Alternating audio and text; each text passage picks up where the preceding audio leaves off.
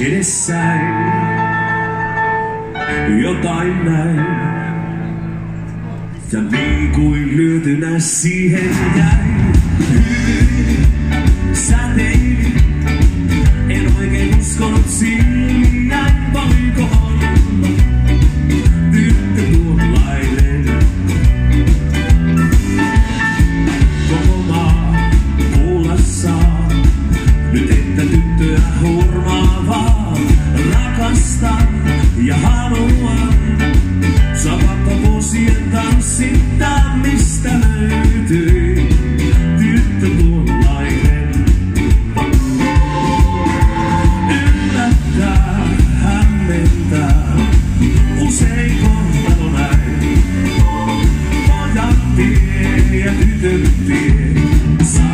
Sovitaan yhteen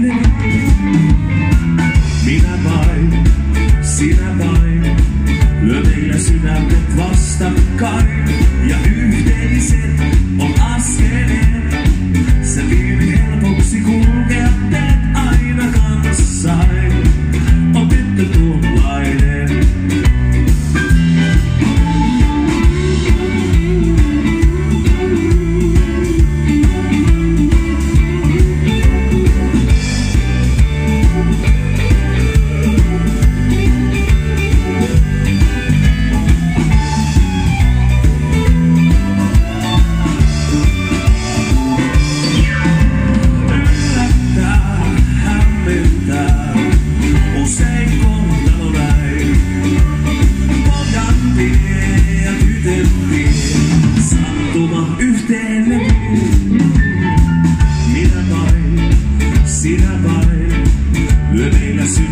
vastakkain. Ja